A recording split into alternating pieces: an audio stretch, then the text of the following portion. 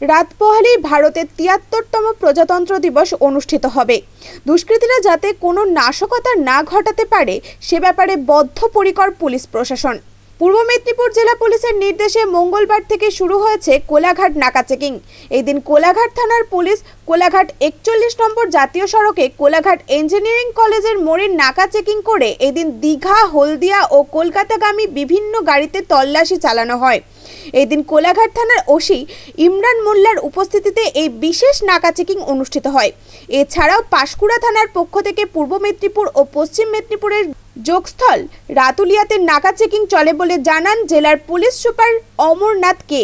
Twenty six January মানে পরশু আমাদের এখানে সেলিব্রেট হবে। এটা নিয়ে কি মানে মানে মানে রেগুলার বেসিসে আমরা যে অ্যান্টি ক্রাইম মেসেজ যেটা চলছে, ওটা চলবে। মানে আমাদের নানা বর্ডার পয়েন্টস আছে ওডিশা অ্যান্ড বাকি জেলা থেকে যে বর্ডার পয়েন্টস আছে, ওইখানে আমরা স্পেশাল নাকা চেকিং চলাচ্ছে। এছাড়া বাকি যে রেগুলার যে সেফটি প্রোটোকলস আছে, ওই মানে হোটেলগুলো ভিজিট করছি।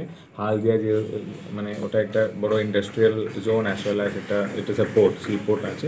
তো সেই জন্য ওখানে হোটেলগুলোতে এক্সট্রা চেকিং চলছে। আর বাকি যারা মানে লোকাল লেভেল ইন্টেলিজেন্স অফিসার্স আছে, সবাইকে আমরা ব্রিফিং করা হয়েছে কি so that they should keep a look out for anything and যেহেতু দীঘা অ্যান্ড মন্দারমণি এখন করোনা নিয়ে একটু কম টুরিস্ট প্রেশার আছে ওখানে এখন হোটেলগুলোতে we are doing checking and Odisha বর্ডারে আমরা স্পেশাল নাকা চেকিং করছি। এপাশে কলকাতার দিক থেকে কোলাঘাট বা হ্যাঁ মানে মানে আমি যেভাবে বলেছেন হাওড়ার সাথে যে বর্ডার অ্যাজ ওয়েল অ্যাজ পশ্চিম মেদিনীপুরে যে সাথে বর্ডার আছে পাঁশকুড়াতে আমরা ওখানে স্পেশাল নাকা চলছে পূর্ব মেদিনীপুর থেকে খোকন মিশ্রর রিপোর্ট আনন্দ বার্তা।